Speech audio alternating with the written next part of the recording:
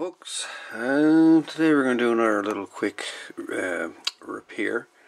This time it's going to be on a uh, LR10.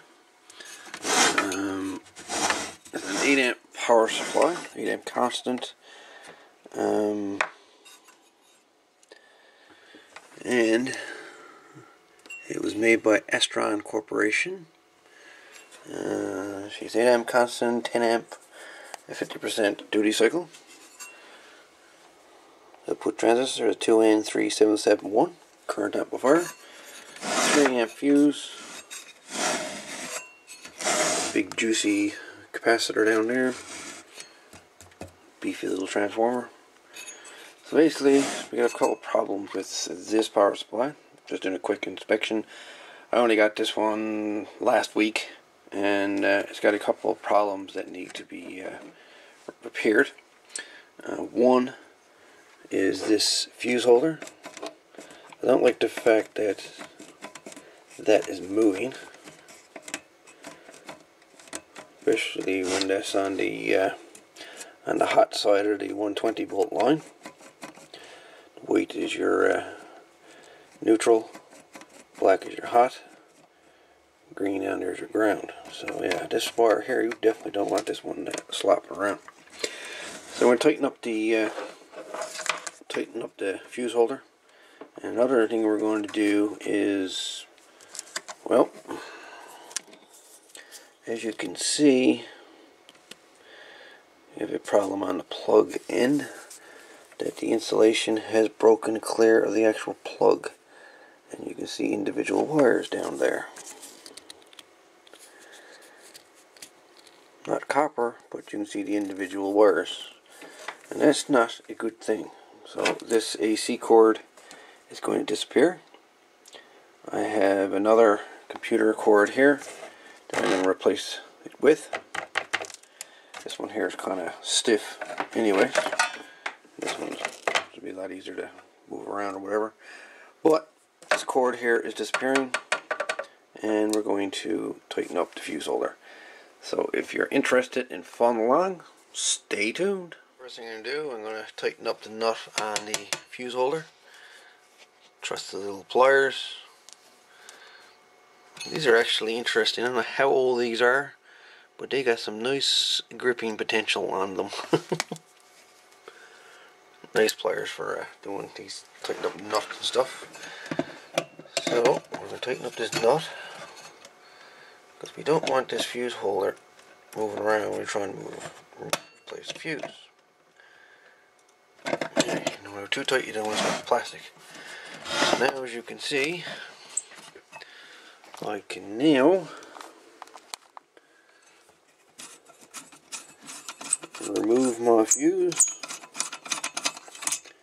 3 amp.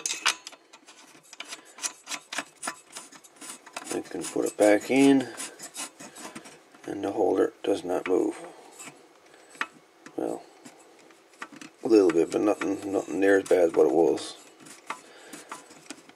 There's a little bit more tighten up, but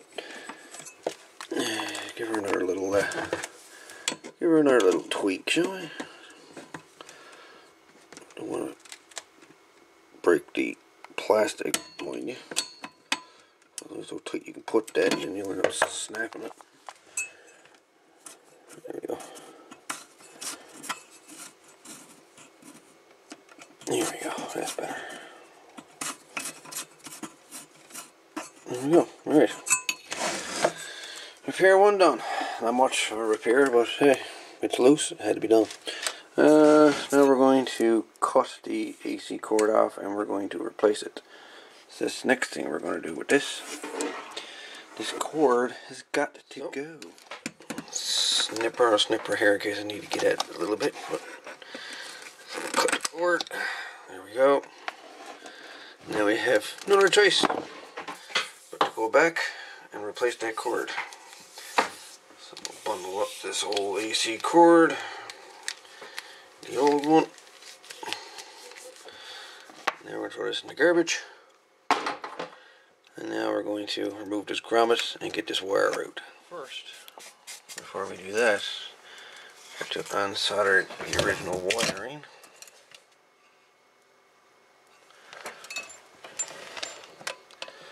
This is always fun.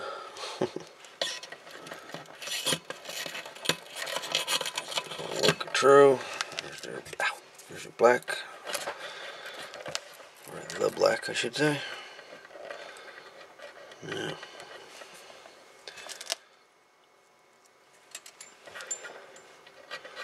See if I can't get the ground off.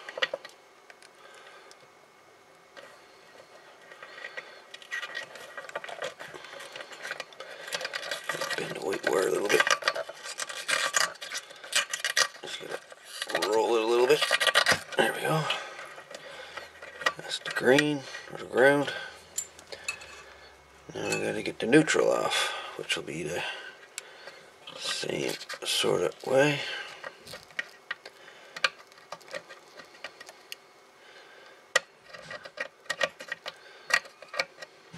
It's gonna take a little bit to warm this up. Right. Get that neutral off. Rocket sort of sort of thing. There we go. And then we have the neutral off. So the neutral, ground, and the hot wires are now removed. So now we gotta get this grommet out. Then we pull this wire clear. So now we're trying to get the grommet out. There we go. Wire pulls out. Save the grommet, because obviously we've got to put it back in again. There you go. There's the old wire, and there's the old grommet. Right, now we're going to prepare the other wire. Now what we're going to do is cut the the female side off the plug. It's now cut. Now we have to strip back some of this insulation. So when it goes through, it'll still hook up to the points inside the power supply. Stripped, check the wire, make sure there's no nicks in it. Otherwise I'll strip back some more. You don't want this wire damaged at all. So do a thorough inspection of it after you strip it. Looks fine.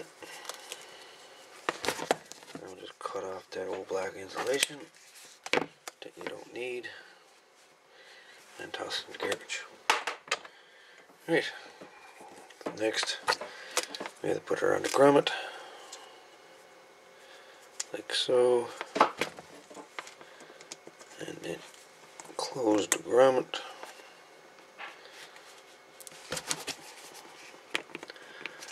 And pinch it down, like so. Um, you might want to, at this point, also strip your wires and tin them just to make it a bit easier to solder in.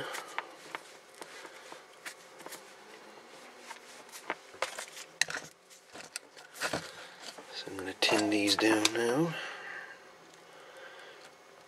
rather than trying to do it later which sometimes can be a nuisance after it's put in.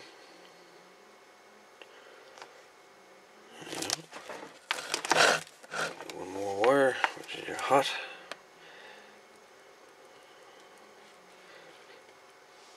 There you go. Okay. So now all three wires are tinned. Now you can run those wires in through the hole that the grommet was originally in.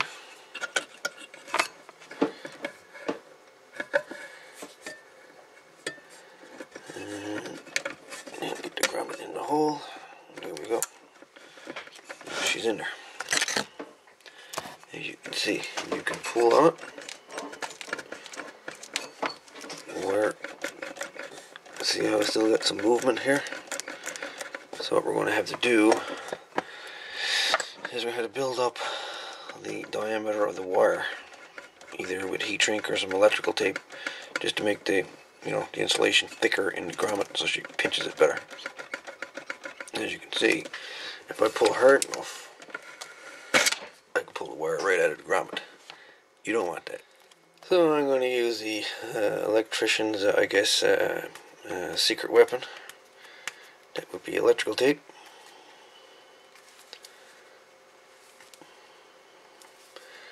Or handyman secret weapon.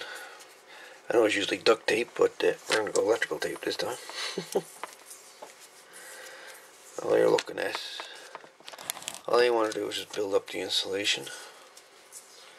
So the grommet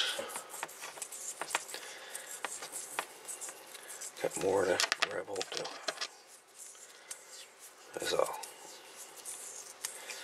So the only purpose this electrical tape is uh, doing.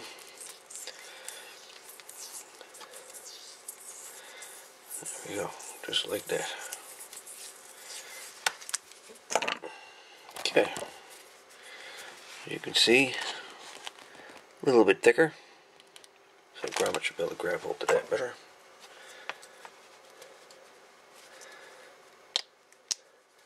so the grommet back on the wire push the wire into the grommet. And then you put down the top part.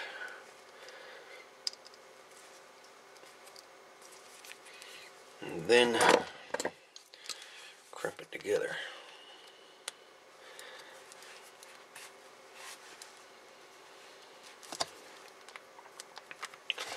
With a pair of pliers.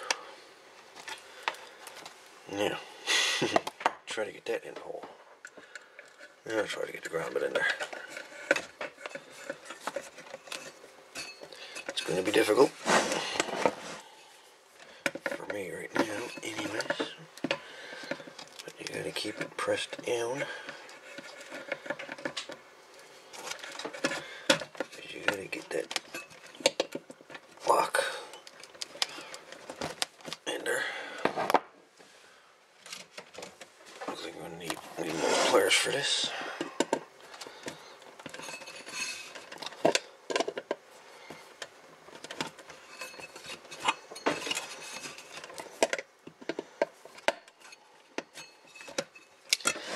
I may have a little bit too much electrical tape put on this.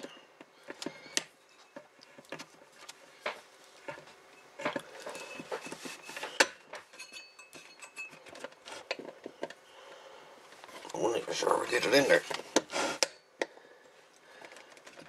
She ain't coming out again. Not without a fleet. Alright, so. Alright, I too much tape. So. Remove some. A little bit of tape removed. Now, we'll try this again. Again, put it in there. Put it on the wire, crimp her down.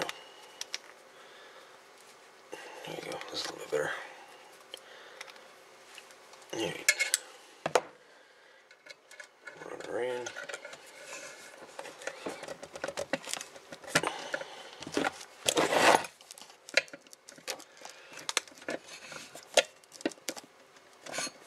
She should.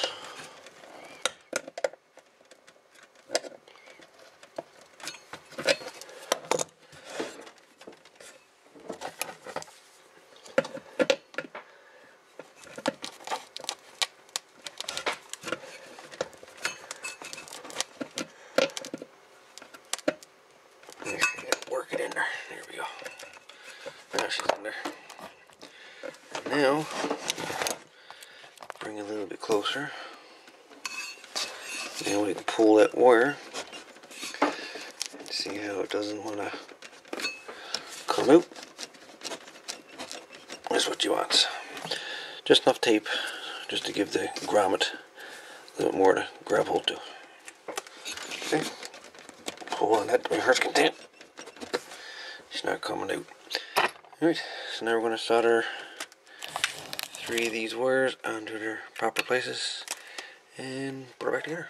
Alright, so push my wire down through the hole.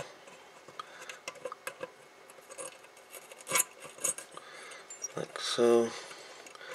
Then you want to bend it back like that. Solder on. And that little bit of excess. Clip that off.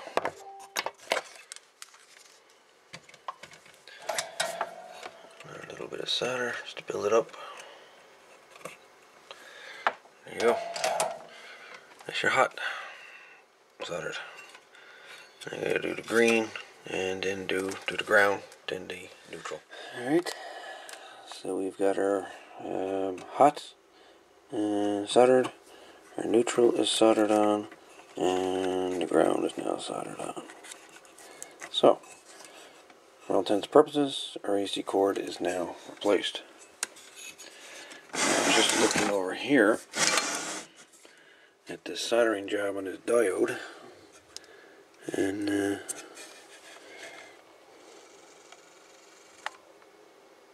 see that solder under that diode? Yeah, it's not a short waiting to happen now, is it? So we're going to remove that before that uh, before that causes a problem. All right. So we've got that uh, potential short removed. We don't want that. We don't want that, do we? Any other potential problems? Hmm. That lead in some. I don't want that touching either. Not hard to tell they're quickly putting these things together.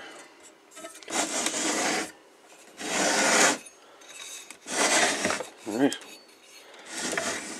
That's pretty much it. Anyways, this has been the, the I guess, the repair of an Astron LR10 regulated power supply. Hey folks, hope you enjoyed the video. All the best.